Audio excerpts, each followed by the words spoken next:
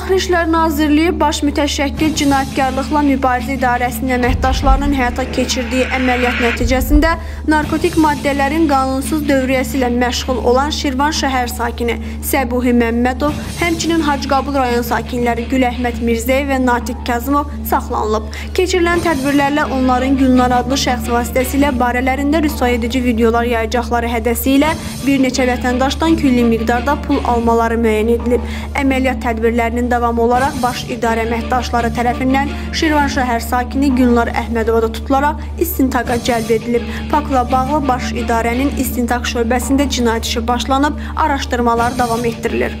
Şirvan şəhərində bir neçə vətəndaşı hədələmişik, çünki onlar barəsində əlimizdə rüsva edici materiallar var idi. O materialları yaymamaq üçün onlardan pul tələb etmişik, onlardan pul almışıq. Qeyd edək ki, efirdə gördüyünüz dəstə üzvlərinin cinayət əməllərindən zərər çəkən başqa şəxslər varsa, bu barədə aidiyyəti üzrə polis orqanlarına zəng edərək məlumat verə bilərlər. Jalə Bayramlı, Rəşid Rəşidov, Səs TV.